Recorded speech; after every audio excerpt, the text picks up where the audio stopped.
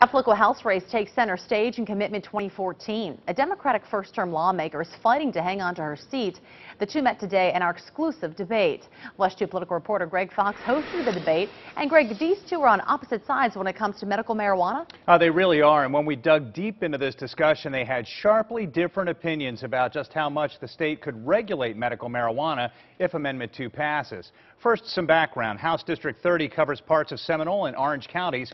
Democratic incumbent Karen Castor Dentel was first elected in 2012. She's a former teacher. Republican Bob Cortes is a former mayor and commissioner in Longwood, as well as a business owner. Cortes opposes Amendment 2, saying medical marijuana should not be in the Constitution because it will be impossible to control. Dentel disagrees.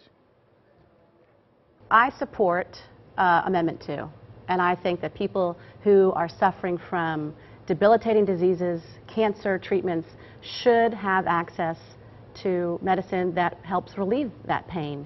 And to withhold it, I think, is, is unfortunate. What the legislature can do, if that were to pass, is to come back in and put in more controls and regulations to control it so that we don't end up like California or Colorado. Here's the kicker, is that they're, they're mentioning that the legislature can come back and amend this, and they cannot. This is going into the Constitution, and the way it's worded right now, only, only the only one that sets the policies and how it's going to be done is the health department. So the legislature cannot come back and amend or change this because it's not being done legislatively. So I disagree with the representative that the legislature, if it does pass, can come back next year and fix the things that are missing. It, they cannot.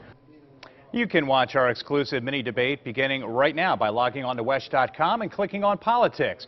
Four local House races will be debated this Thursday afternoon in downtown Orlando at the Tiger Bay Club.